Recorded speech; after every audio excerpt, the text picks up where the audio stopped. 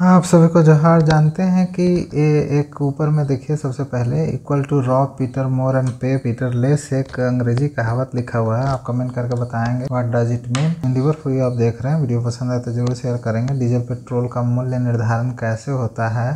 Petrol के मूल्य का कौन कौन सा घटक होता है? क्या आपको पता है डीजल पेट्रोल के मूल्य पर केंद्र और राज्य सरकार कितना टैक्स लेती है? और सबसे ज़्यादा डीजल पेट्रोल के मूल्य महाराष्ट्र एवं वेस्ट बंगाल में क्यों है? और भारतीय जो इंडियन क्रूड बास्केट है जिससे उसमें कीमत की गणना कैसे की जाती है, इन सारे मुद्दों हम लोग बात करेंगे। हम बने रहेगा हमारे साथ। नेक्स्ट में देखते हैं। देखिए डीजल पेट्रोल का मूल्य का निर्धारण कैसे होता है? सबसे पहले देखते हैं कि हमारे देश में पचासी प्रतिशत ज़रूरत का काम आयात से निर्भर होता है और जो पेट्रोल डीजल का खुदरा मूल्य जो निर्धारित होता है, वो तीन घटक से मिलकर बना होता है। मेन तीन घटक होता है। एक बेस प्राइस होता है, अंतर्राष्ट्रीय तेल का कीमत दर्शाता है। सेंट्रल एक्साइज टैक्स और स्टेट टैक्स, यानी वैट, जिसको हम लोग बोलते हैं, वैट। ये एक्चुअली में जीएसटी में नहीं आता है, नन अब देखिए पेट्रोल डीजल के कीमतों पर सेंट्रल एक्साइज में कौन कौन घटक होता है? देखिए सेंट्रल एक्साइज सेंट्रल एक्साइज में भी अलग अलग टैक्स इंक्लूडेड है, जिसको मिला के बोलते हैं सेंट्रल एक्साइज एक देखिए बीईडी e बोलते हैं बेसिक एक्साइज ड्यूटी उसके बाद है देखिए स्पेशल एडिशनल एक्साइज ड्यूटी विशेष अतिरिक्त उत्पाद, शुल्क सोचिए कितने तरह का टैक्स देते हैं। फिर है road and infrastructure cess road का इंफ्रास्ट्रक्चर के लिए जो सेस उपकर लगाया जाता है। फिर है agriculture and infrastructure development cess agriculture development के लिए भी सेस डीजल से ही लिया जाता है। और इसमें केवल राज्यों, ये जो जो बीईडी e है, ध्यान रखेगा सबसे महत्वपूर्ण इसमें ये सवाल है। बेसिक एक्साइज ड्यूटी है, सिर्फ़ ये राज्य सरकार के साथ शेयर किया जाता है।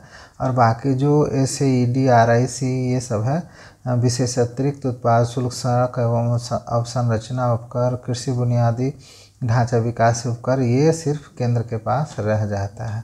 अब देखिए, पेट्रोल और डीजल आधार मूल्य से बहुत महँगा कैसे हो जाता है? एक्चुअली में होता ये है, केंद्र और राज्य सरकार का कर बहुत बड़ा हिस्सा होता है बहुत बड़ा है। पूरे भारत में उत्पाद शुल्क का सिर्फ़ एक दर है, और राज्य कर जो होता है, जिसको वैट या मूल्यवर्धित कर बोलते हैं, राज्य सरकार। जैसे मान लीजिए कि ट्वेंटी नाइन इंडियन स्टेट्स है तो वो हर राज्य स्वतंत्र है, कितना अपने स्टेट में वैट लगाएँगे। देखिए, कोई स्टेट ये एक परसेंट वैट लगा रही है। आप आगे देखेंगे, कोई स्टेट पैंतीस परसेंट वैट लगा रही है। इस वजह से उनके यहाँ तेल ज़्यादा महँगा है। कारण है कि सब अलग, जैसे देखिए, उदाहरण के लिए हम ले लेते हैं कि कीमत का गणना कैसे करते हैं? मान लीजिए दिल्ली में पेट्रोल वृद्धि के पहले पेट्रोल का दाम था एक सौ इकतालीस पैसे लीटर। देखिए, इसमें बेसिक प्राइस कितना कम है? पन रुपया बत्तीस पैसा आई है। उसके ऊपर भाड़ा जुड़ता है बीस पैसा।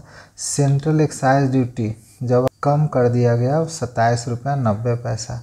उसके बाद डीलर का कमीशन तीन रुपया छियासी पैसा और सरकार का वैट कितना है? सत्रह रुपया तेरह पैसा। समझिए एक सौ पाँच रुपये इकतालीस पैसे और इसी तरह से डीजल का दाम छियानवे रुपये सड़सठ पैसा आता है। इतने सारे कंपोनेंट को जोड़कर तेल का मूल्य निर्धारण होता है। देखिए, इसके पहले देखिए, होता क्या था पहले कि पहले एडमिनिस्ट्रेटिव प्राइस मैकेनिज्म हम लोग के यहाँ था कि चीनी का, तेल का, हर चीज़ का दाम बढ़ाने से पहले सरकार से परमिशन लेना पड़ता तो बाद में क्या हुआ कि एपीएम जब समाप्त हो गया, उसके बाद तेल समन्वय समिति जो था उसको भी समाप्त कर दिया गया और पेट्रोलियम और प्राकृतिक गैस मंत्रालय से जुड़ी एक पीपीएसी पेट्रोलियम योजना petroleum planning and analysis cell बनाया गया एक अप्रैल दो इसके हिसाब से देखिए, अभी सेंट्रल एक्साइज सत्ताईस रुपया नब्बे पैसा। आप इसमें देखेंगे कि बेसिक एक्साइज ड्यूटी एक रुपया चालीस पैसा है। स्पेशल एडिशनल जो एक्साइज टैक्स है, ग्यारह रुपया है। एग्रीकल्चर का ढाई रुपया और तेरह रुपया आर आई सी है।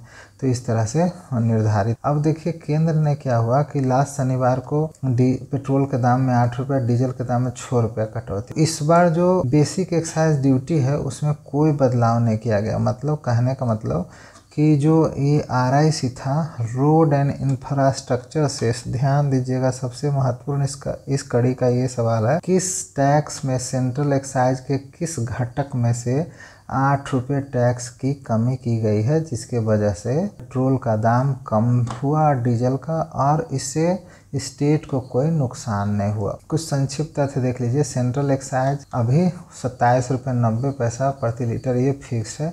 और केंद्रीय उत्पाद शुल्क राज्य सरकार ये पेट्रोल का मूल्य लग देखिए अभी आप देख रहे होंगे कि छप्पन रुपया पच्चीस पैसा बेस प्राइस है।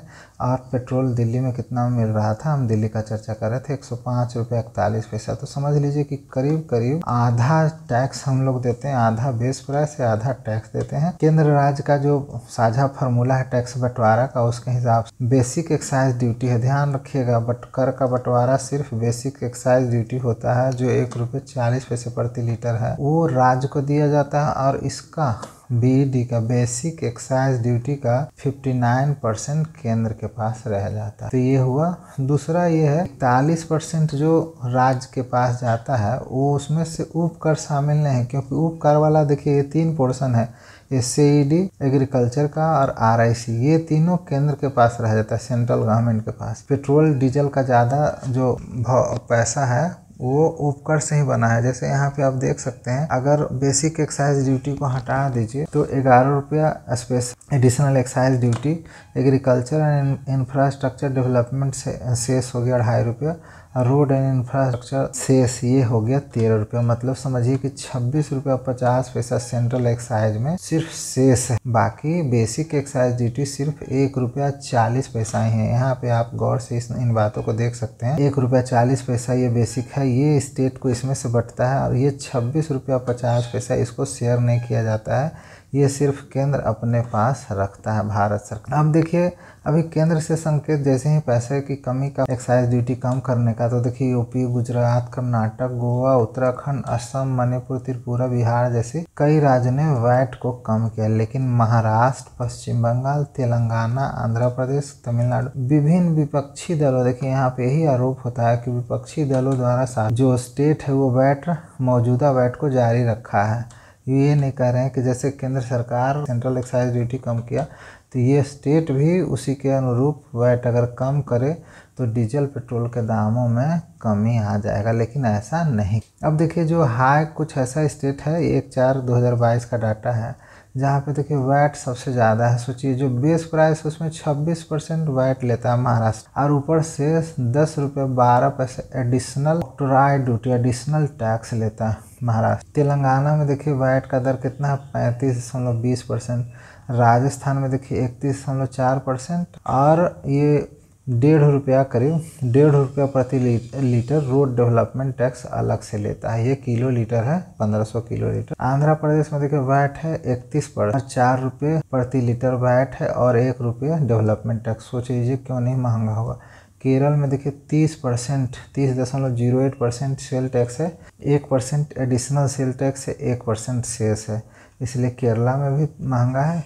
मध्य प्रदेश में देखिए, उनतीस परसेंट वैट है अढ़ाई रुपये प्रति लीटर है वैट है और एक परसेंट शेष है और उड़ीसा में अट्ठाईस परसेंट सिर्फ़ वैट इन राज्यों में जिसका सामने आप देख रहे हैं तेलंगाना राजस्थान महाराष्ट्र आंध्र प्रदेश केरला एमपी उड़ीसा इन राज्यों में हाई वैट है और देखिए दूसरी ओर ये भी एक चार का ही डाटा है कि देखिए अंडमान निकोबार द्वीप समूह जो है वहाँ पे सिर्फ़ एक परसेंट वैट लगता है दादर नगर हवेली में पेट्रोल डीजल पे बारह twelve point seven five percent VAT है गुजरात में देखिए थर्टीन पॉइंट सेवन और फोर परसेंट शेष है, Arunachal Pradesh fourteen point five percent है, शेष उत्तराखंड में देखिए। आप ये समझ लीजिए विच एवर इज़ ग्रेटर है, इसका मतलब है कि मैक्सिमम तेरह रुपया चौदह पैसा एक लीटर में ले रहे हैं।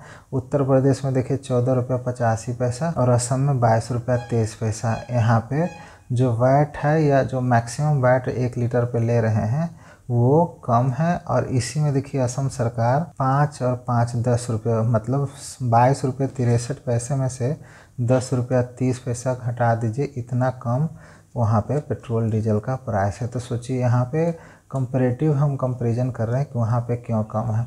अब देखिए, कुछ मेट्रोज है, मुंबई में देखिए, सब एक सौ बीस रुपये इक्यावन पैसे, चेन्नई एक सौ दस, कोलकाता, ये ऑलरेडी हम लोग चर्चा कर चुके हैं। महाराष्ट्र में बढ़ने का दाम इस छब्बीस परसेंट वैट के साथ ऑक्ट्राइड ड्यूटी चुंगी कर भी ये पेट्रोल पे लगाते हैं, इसलिए सबसे महँगा है। और मुंबई, नवी मुंबई, ठाणे में एक लीटर पेट्रोल के लिए छब्बीस रुपया छियासी पैसा का सरचार्ज लिया जाता है।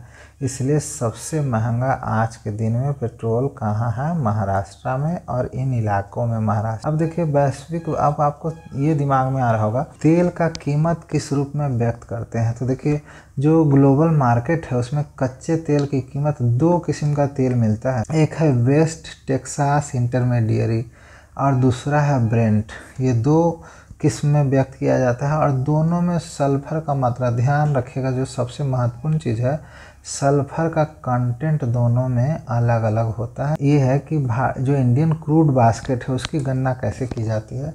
तो इंडियन जो क्रूड बा, बास्केट ये भारत सरकार बनाया है कि कहाँ कहाँ से हम तेल खरीदेंगे और किस हिसाब से वो प्राइस निर्धारण होगा। तो देखिए सावर ग्रेड तेल लेता है ओमान और दुबई। ओमान और दुबई से जो स्वीट ग्रेड होता है जिसको ब्रेंट डेटेड बोलते हैं ये दोनों को मिला के इंडिया में तेल बनाया जाता है पेट्रोल और डीजल जो सल्फ़र का जिसमें अधिक मात्रा होता है ध्यान रखिएगा जिसमें सल्फ़र का अधिक मात्रा होता है वो सावर होता है और जिसमें सल्फ़र का मात्रा कम होता है, उसको स्वीट ग्रेड का। और देखिए, एक बेसिक डिफरेंस ये है कि जो सावर ग्रेड क्रूड ऑयल होता है, उसको प्रोसेसिंग में ज़्यादा कॉस्ट लगता है। कि सावर ग्रेड और स्वीट ग्रेड में क्या अंतर है? तो इंडियन क्रूड बास्केट में ये दो है सावर ग्रेड ओमान दुबई का और स्वीट ग्रेड बेंट का, होता है Brent dated petroleum planning and analysis cell का ये देखिए डाटा है। इसमें आप देख रहे होंगे कि दोनों तेल को कैसे मिक्स करके, किस रेशियो में मिक्स करके बनाया जाता है, ये हम आगे बात करेंगे। कि जो क्रूड ऑयल है फ्री ऑन बोर्ड एफओ भी बोलते हैं फ्री ऑन बोर्ड कि ये सावर ग्रेड ओमान दुबई और स्वीट ग्रेड को देखिए। इसमें सावर ग्रेड 75.62 और जो स्वीट ग्रेड है, करीब ऐसा समझिए कि 75 और 25 ये 2019-20 का डाटा हम बता रहे हैं कि 75 परसेंट सावर ग्रेड मिलाया जाता है और 25 परसेंट अबाउट स्वीट ग्रेड मिला के भारत के तेल रिफाइनरियों से तेल को रिफाइन किया जाता है। अब देखिए, जो शनिवार को पेट्रोल, डीजल ड्यूटी में जो कटौती किया गया, केंद्र, केंद्रीय कर में राज्यों के हिस्सा घट जाएगी, ये बहुत सवाल, बहुत विवाद हो रहा था। इवन जो हमारे पूर्व वित्त मंत्री पी चिदम्बरम ने बोला, इस शुल्क में कटौती से केंद्रीय करों में राज्यों की हिस्सेदारी घट जाएगी। हालाँकि बाद में उन्होंने अपना बयान वापस ले लिया वही जो पीटर वाला कहानी, वही उस जो हम सबसे पहले बताए हैं, उन्हीं का यह कथन है। उसका मीनिंग आप ज़रूर बताइएगा। तो एक्चुअली में हुआ क्या कि जो सरकार जो एक्साइज ड्यूटी में कमी किया, उसमें से एक्साइज ड्यूटी के कितने चार कंपोनेंट हम लोगों ने चर्चा किया था, उसमें से जो रोड एंड इंफ्रास्ट्रक्चर शेष है, उसमें से आठ रुपये पेट्रोल के दाम में कमी किया गया था। यही मेरा मुख्य सवाल था कि रोड एंड इंफ्रास्ट्रक्चर शेष है, उसमें आठ रुपये प्रति लीटर के हिसाब से कमी किया गया और इस कटौती का पूरा बोझ केंद्र सरकार द्वारा वहन किया जाएगा, इसलिए स्टेट को इसमें कोई घाटा नहीं होने वाला है। ऐसा जितना भी बयान हमने आपने सुना था, वो सब गलत है, झूठ है, फरेब है। और इसीलिए श्री पी चिदम्बरम को जो ये पहले बयान दिए थे, उन्हें सुधार करना पड़ा। चलिए न्यूवर फॉर आप देख रहे हैं। वीडियो पसंद आए तो मिले share and subscribe thanks for being with us और हमको ये पता है कि आप ज़रूर समझ गए हो कि पेट्रोलियम पदार्थ के दामों का निर्धारण किन किन फैक्टर से होता है।